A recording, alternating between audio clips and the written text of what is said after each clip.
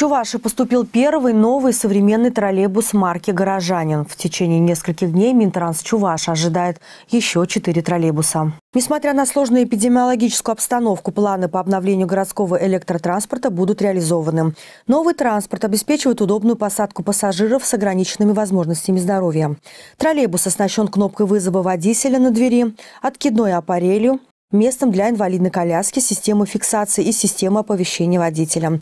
Также они укомплектованы автоматической системой навигации и кондиционерами, прокомментировал исполняющий обязанности министра транспорта и дорожного хозяйства Юрий Орлашкин.